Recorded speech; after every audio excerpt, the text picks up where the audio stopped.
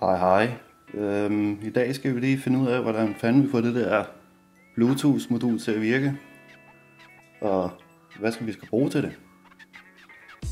Først skal vi selvfølgelig bruge selve Bluetooth-modulet. Det er det til 100 kroner hos øh, Søren, altså en netbutik. Så skal vi bruge en FTDI Programmer, hedder det også. De findes i flere forskellige varianter. Jeg har sådan en her. Jeg har sådan en her. Jeg har sådan en her.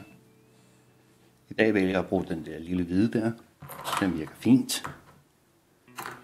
Og vi skal øvrigt også bruge en flight controller. Her har vi en NES 32. En Flip 32. Vi får det selvfølgelig til at virke med begge dele, fordi vi kan. Vi skal bruge nogle kabler. Der er fire kabler. Og så skal vi bruge en Android enhed. Jeg har fået sådan en lille fin øh, linole her, som vi bruger til formålet. Og øh, ja, så skal vi bruge en computer med et program på. Det skal være med Arduino. Men øh, først skal vi lige have gang i Bluetooth-modulet. Der kan være et problem med at få dem til at snakke sammen med flight controllerne her. Og det løser vi selvfølgelig.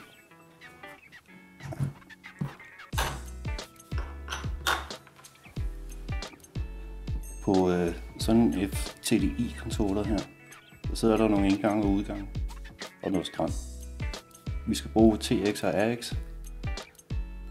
Vi skal bruge ground og volt. Bluetooth-modul. Der sidder det samme. Det her er tilfældigvis et 5 volts Bluetooth-modul. Det er sådan rimelig standard. Men øh, lad os sætte det til, se hvad der sker.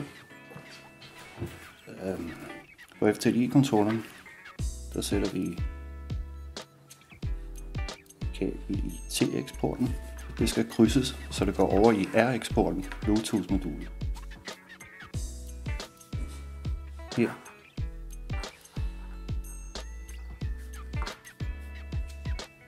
TX-modul skal også krydses. Så står TX Bluetooth-modulet, skal det over i RX på FTD-kontrollen.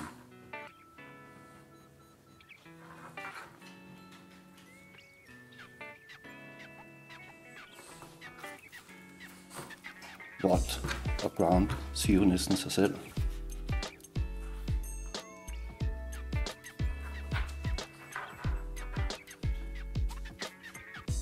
sorte sætter på ground selvfølgelig. Det røde, sætter på volt.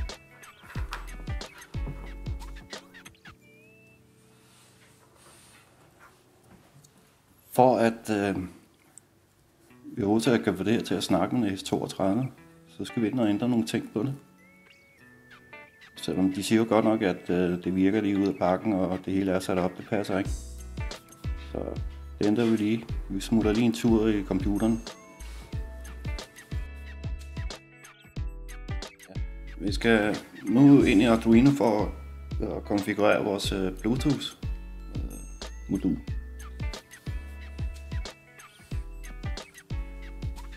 det er egentlig bare standard øh, Arduino installation.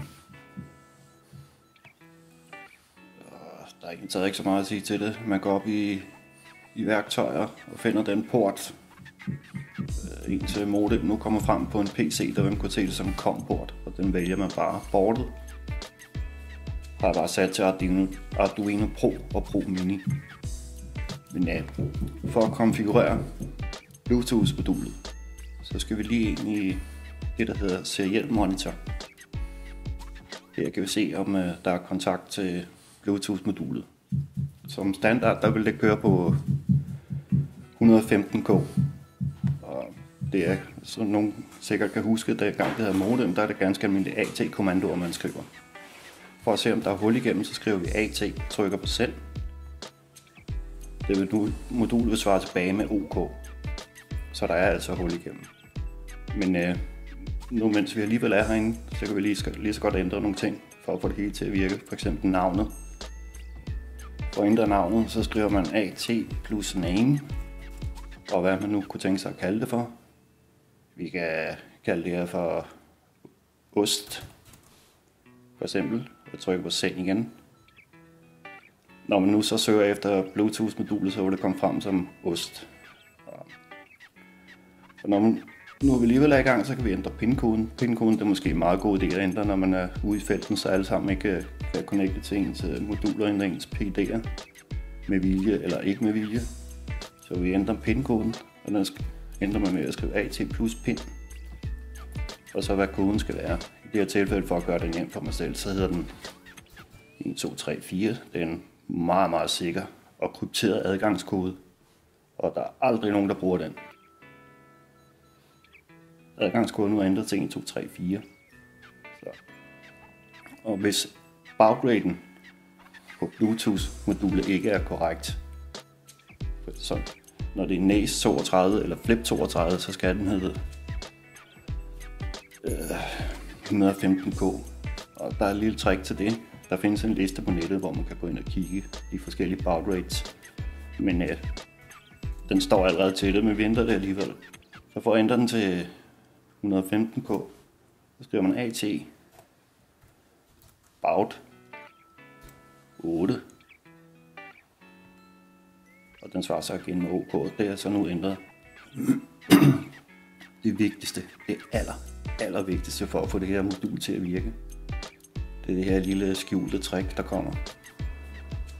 Øh, som standard, så kan NAS 32 og Flip 32 ikke snakke sammen med Bluetooth-modulet, fordi det hele tiden står og sender data frem og tilbage.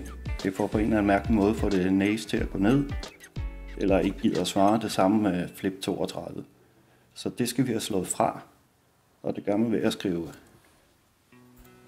AT plus int 2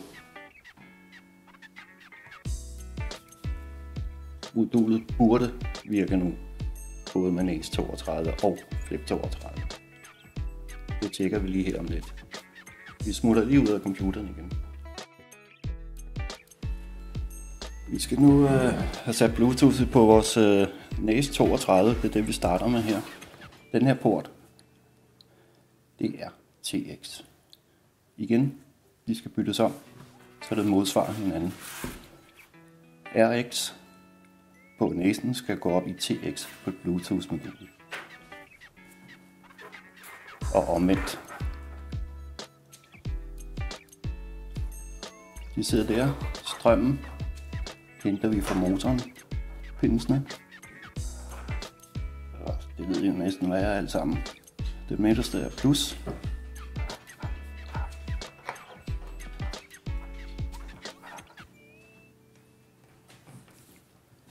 Og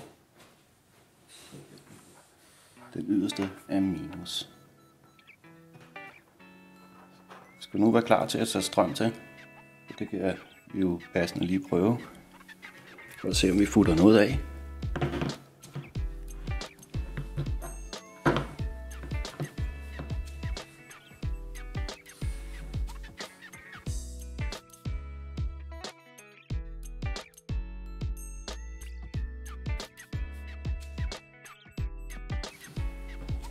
Det blinker lystigt derudad. Bluetooth-modulet virker. Vi skal nu øh, fat i vores øh, tablet eller Android mobiltelefon. Appen vi skal bruge. Jeg flytter lige det her, så man kan se. Appen vi skal bruge er den der EZGUI Ground Station. Den er gratis.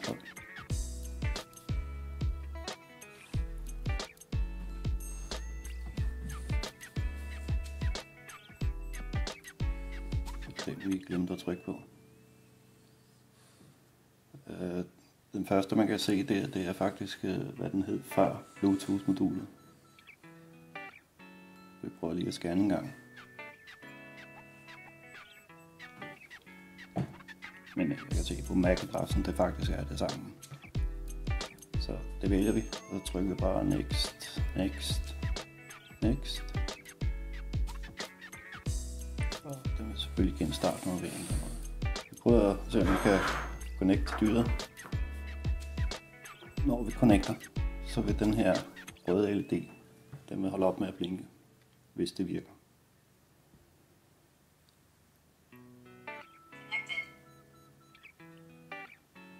Vi er faktisk nu connected til NAS 32 bordet. Og kan vi se her, hvis vi bevæger bordet, tingene på dashboardet også bevæge sig. Gå tilbage her. Der skal være en PID et eller andet sted, vi leger lidt med. Her kan man ændre sine PID'er, hvis man har lyst. Det er data, den tager direkte fra bordet nu. Så det virker. Men øh, jeg viser det på appen alligevel, fordi øh, så er der sgu ikke så meget at tage til fejl af. Men på et flip, der sidder RX og TX-porten herovre ved siden af USB-porten. Det er på de midterste pinde. De pinde skal man også bruge, hvis man vælger at smide et øh, minimum USD på. Så det er en af forskellene på et NAS 32 og et Flip 32. En NAS 32 har RX-pindene herinde, hvor de så blev flyttet herud på et Flip 32. Ellers er det stort set det samme. Vi kan lige tjekke, om det virker på appen.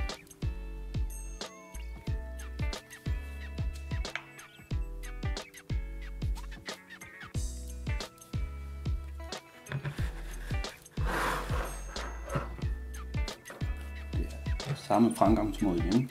Den der USB-dongle, den er jo stort set øh, bindet med appen, så den burde bare virkelig ud af kassen ved at jeg trykker på connect. Det kan vi lige prøve at se, om det virker.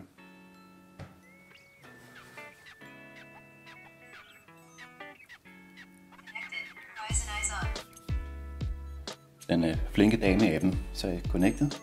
Vi kan tjekke om PD'erne er der. Det var de sørger.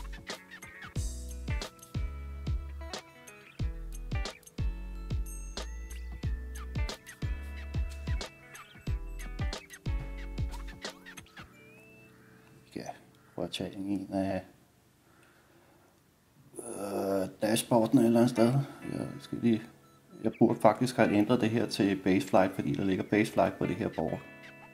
Men øh, det finder vi jo nok selv ud af. Så svært er det heller ikke. Alle tingene på bordet kan stort set ændres. Det er noget, I selv må sidde og rode med. Jeg bruger som sagt et øh, uh, minimum USD, hvor jeg kan lave det hele via min USD, i stedet for en Bluetooth. Men ja, god fornøjelse med det. Håber, I kunne bruge det til noget. Vi ses en anden gang. Hej hej.